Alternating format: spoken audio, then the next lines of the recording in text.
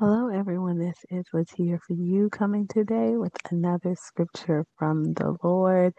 Really a go tell um, video. Let's go ahead and pray and we can get started. Father God, thank you for your word. Thank you for your promises.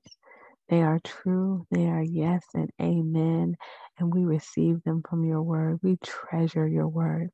Your word is a great treasure to us. We delight ourselves in you, God. Love on us, love on our hearts, God. We surrender everything to you today. Give us rhema for the hour that we live in. In Jesus' mighty name, amen. All right, you guys. So today, um, well, I just got done with the teaching, but the Lord wanted me to also go to Isaiah 42, verses 5 through 7. We've actually been in Isaiah before, but he just wanted me to re emphasize verses 5 through 7 with you guys. And remember, some of these are go tell. So they are more on the prophetic side rather than Bible study. And I feel like this is one of those. He has been really giving me a lot of go tells lately. And I really believe it has to do with his return and the closeness of it. So he told me to come and talk about verse 5 through 7 of Isaiah 42. So we are going to do that. So let's get started. Verse 5 Thus says God, the Lord, who created the heavens and stretched them out, who spread out the earth and what comes from it who gives breath to the people on it and spirit to those who walk in it. So, this is a beautiful description of the Lord and what He's done for us. That the, a lot of the things that we sometimes don't even acknowledge anymore because we see them every day and we need to take time and stop and admire His creation and just say thank you, right? Of all the, the lepers that were cleansed, only one came back to say thank you. But here, God is telling us what He does. He's telling us the, the beauty that's surrounding us comes from Him. And our breath, our spirit, our life, it comes from Him. It says, Thus says the Lord who created the heavens and stretched them out. God created the beautiful sky that we see. He created the heavens that we don't see. He created the the spiritual realm as well as the natural realm right and and these are complex things that we could never understand how detailed he is right? And we try to, in science, try to figure things out, you know. But thus says the God, the Lord, He created all of these things, and and there's no way for us to fully dig into them right but he created them and he stretched them out he expanded them this this is letting you know that he did it right because there is a, a scientific proof in this that as you know we know the the earth not the earth the um universe is expanding right? He stretched them out. He stretched out the heavens. And we know now through all this technology we've learned that you know the universe is constantly expanding. It is expanding from a, a certain point and going outward right? So if here he can say that long before any technology. He's proving to you, he's telling you he did it. It's him, he is the source who spread out the earth and what comes from it. He no no not just that he made the earth, but that all the seed bearing plants, all the beautiful things all of that comes from him. He gives breath to the people in it and spirit to those who walk in it. If you ever thought about the source of all life, it is God our Lord. And he happens to be a loving God. He happens to, to be your God if you have confessed him as Lord. Thank you, God. For giving us breath and spirit and life in this beautiful earth and sustaining it and sustaining the heavens because he even sustains the heavens.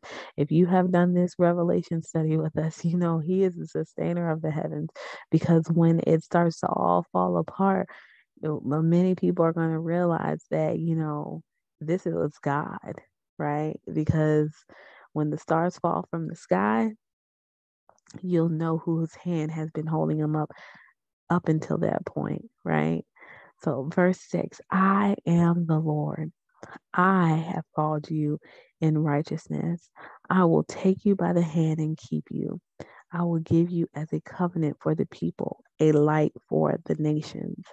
So, here specifically, God is talking to his chosen ones, right? So he's not only talking about Jesus, but he's also talking about us, right? So we are found in Jesus. So therefore, the promises that are coming forth from Jesus, we are able to operate in the authority of that.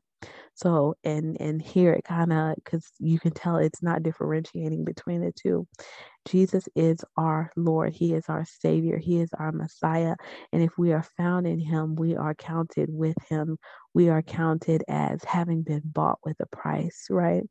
So it says, I am the Lord. I have called you in righteousness, meaning Jesus, I have called Jesus in righteousness, and I have called you in righteousness. How? Because we are found in Christ Jesus.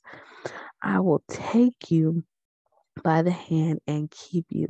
Not our own righteousness, by the way, right? This is Jesus' righteousness with which we are found to be covered by because we believe on him. We believe on the Lord. So it says, I will take you by the hand and keep you. God is a keeping God. He is a God who who is not going to just stop all of a sudden from from maintaining his promises. He is keeping us through Christ Jesus, his son. He's got his eyes on his son and in and in him we are found. If we abide in Christ, if we walk in the light, we are found to be in him. It says, I will keep you as a covenant for the people. Wow. He is going to keep Jesus as a covenant for the people. Remember, this is a better covenant than the previous covenant. The previous covenant covenant came under the law. The previous covenant did was not about, about grace and mercy, right? It was about keeping the law and following it and then atoning for your sins with, you know, animals and sacrifices, right? And transferring that onto them.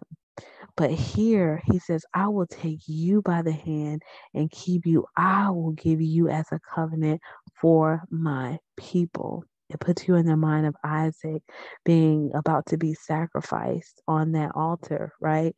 But instead, Jesus has taken his place.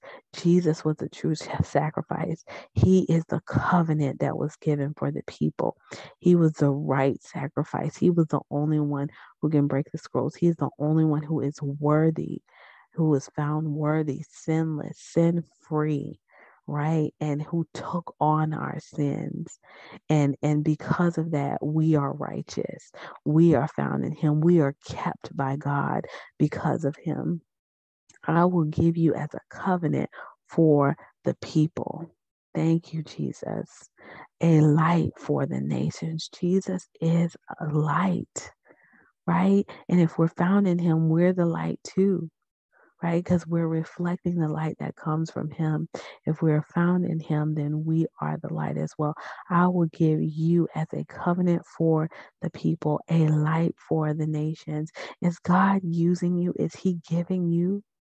right if you're found in jesus you've been given up you you've taken up the cross as well you're walking in the light and you're walking with christ are you a light to the nation? When people see you, is there something different? Do you stand out in a crowd? Right? Uh, are your words the same or are they different from the people that surround you on a daily basis? Do you leave people with grace or do you leave them with a burden? Do you leave them with Jesus and hope Or do you leave them with the same thing that everyone else is in the world leaving leading them with, leaving them with?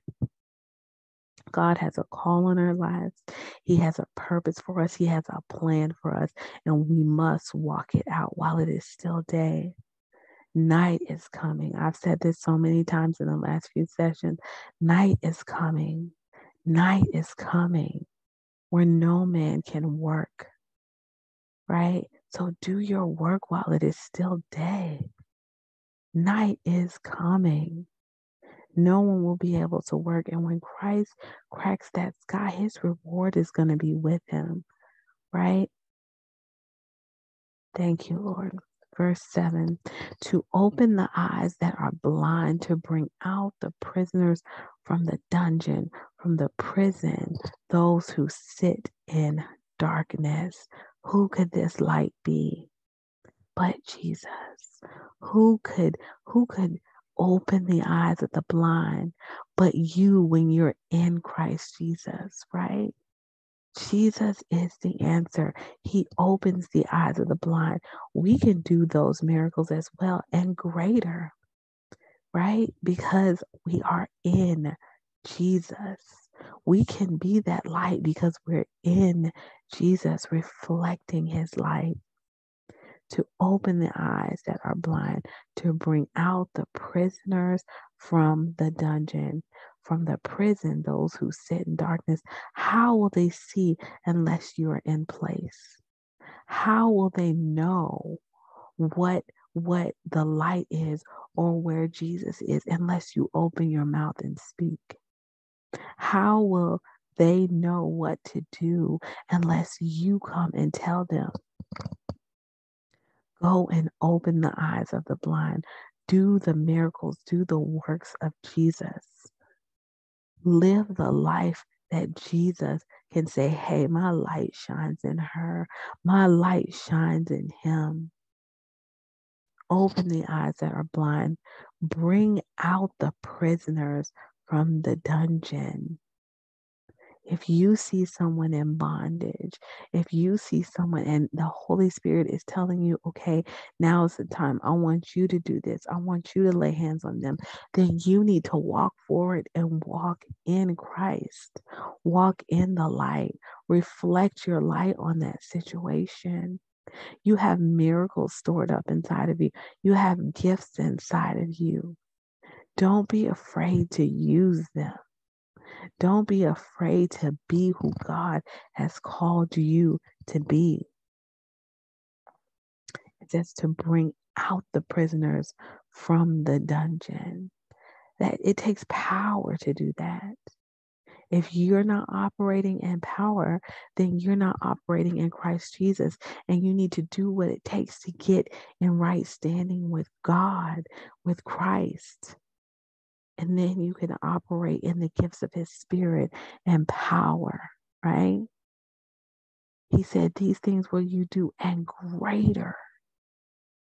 It says, From the prison to those who sit in darkness. There are people that are in bondage.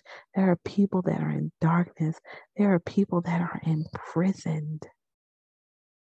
And how will they know how to break free unless you come and stand in the position that God has called you into?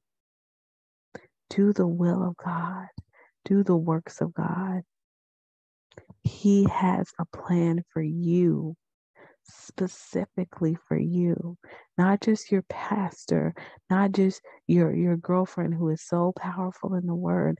No, through you it may not look like such and such's gift, but He can use you. He can do mighty miracles through you if you're only willing to be found in Christ, if you're only willing to walk in the light and abide and do what the Spirit of the Lord is telling you in your heart to do. Night is coming where no man can work. Do work while it is still day. Man of God, woman of God. There is time. Do the work while there is still time. while we're still under this grace covenant. Amen. Let's go ahead and pray. Dear Lord Jesus, thank you for your grace. Thank you for your mercy, which has held out through time until this day. We give you glory, honor, and praise. It's in your Son, Jesus' name, that we always pray and that we find hope. God, let us abide in Jesus. Let us not just be about words, but help us to be about deeds. Help us to hear your voice and and and do what you say. Help us to remember the sick, the orphans, the widows, the blind, those who are in need of you. Help us to address the needs of others that are around us as your spirit leads, not just operating in self, but operating in you and operating in love. Lord, we love you. We give you all the glory, all the honor, and the praise. In Jesus' mighty name we pray. Amen. If you would like to receive Jesus as your Savior and Lord, repeat these words after me. But more than saying the words, believe these words in your heart. Confess them with your mouth and believe them in your heart. Dear Lord Jesus, I make you my Lord and Savior. Come into my heart. I am in need of a Savior. I've led myself for long enough. Lord, I'm asking you, Jesus, to lead me and guide me. Forgive me of my sins. I believe that you died on the cross and you rose again on the third day. I believe you are the Messiah, Jesus, which has come from heaven. You are the Son of God. Forgive me of my sins. I confess they are many. Cover them with your blood. I believe your sacrifice is enough. Thank you, Lord Jesus. In Jesus' name I pray. Amen. If you have prayed that prayer, then the Holy Spirit has come into you and he has sealed you until the day of redemption. And no one can break that seal except for Christ Jesus himself when he comes to redeem his bride. The Holy Spirit is inside of you and he can lead you and guide you into all truth. This means that he's he's able to counsel you and help you to know which way to go in all your circumstances in life, the small and the great. And he's also going to help you to know where to go to be sharpened with other believers, which is a command that Christ wanted us to do. He wanted us to forsake not the fellowshipping of ourselves one to another. He wants us to come together and fellowship together so that we can be sharpened in Him. God is a great God. He is doing mighty and miraculous things. He is going to lead you to a church home where you can go and be baptized in the name of the Father, the Son, and the Holy Spirit in the name of Jesus. He has just got a wonderful plan in store for you. Don't be afraid to walk in it. Walk in it while it's still day. Do the work while it's still day. Salvation is free, but Jesus has rewards that are going to be with him work for Him so that you can have an eternal reward, even beyond that eternal life that He's giving you. Thank you, Lord. And once you have um, found a church home, go and be baptized in the name of Jesus. It is a wonderful thing. It is an outward expression of something God is doing inside of you. Amen. All right, you guys, I have gone on for long enough and I'm praying for you. I hope you all are well. I pray that God makes his face shine upon you and be gracious to you and give you, his children, his peace. And I pray a hedge of protection around you and your family, and that angelic forces be on guard for you in these last and evil days, and that you have sweet sleep as you go to bed tonight. Take care and be blessed. I love you all.